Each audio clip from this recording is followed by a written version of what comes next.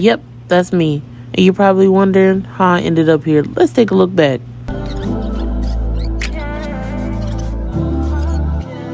Listen, I'm, I'm tired of this. I think I'm just gonna go ahead and wash my hair.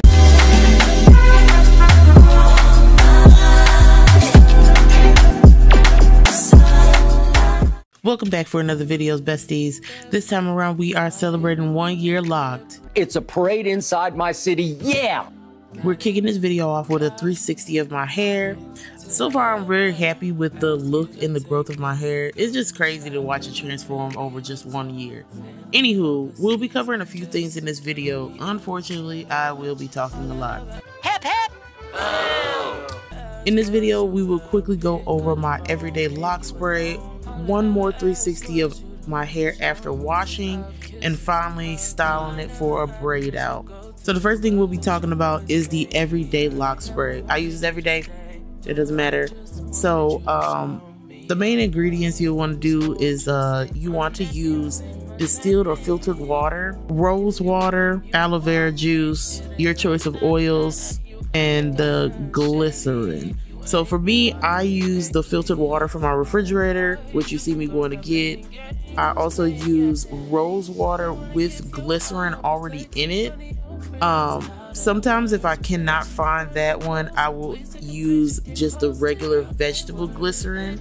Um, in this video, I use both. Why, I have no idea.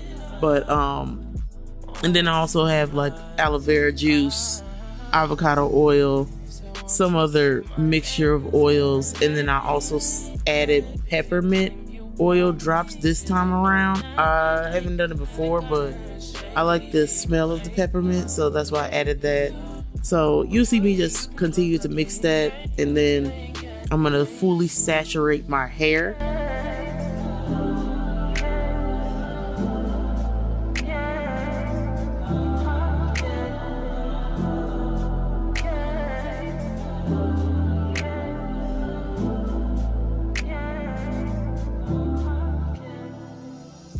All right, so moving on to the next portion.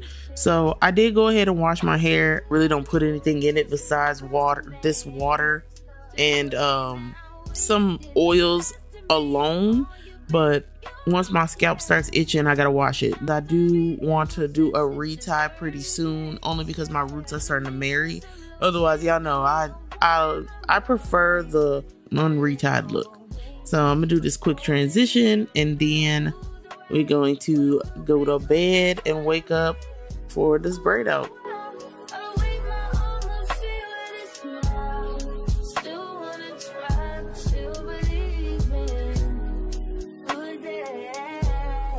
These transitions are clean. Like I forgot I forgot that I'm really that girl.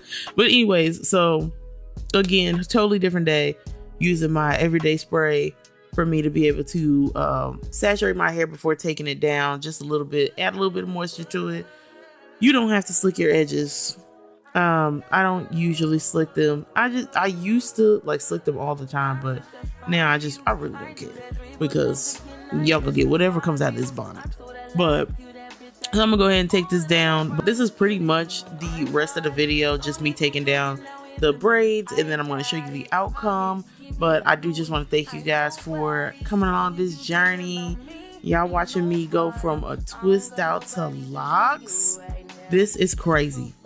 First of all, why why did I have to eat the girls up like this with this lip gloss? But anyways, so this is this is pretty much it. Um thank you guys for watching. Make sure you like, comment, subscribe. Let me know what you want to see down below. Um, I do want to do some more Pinterest hairstyles. But yeah, I'll see y'all in the next video. All right. I got, let me, I gotta get up out of here. Y'all know I don't like to talk that much. This is crazy.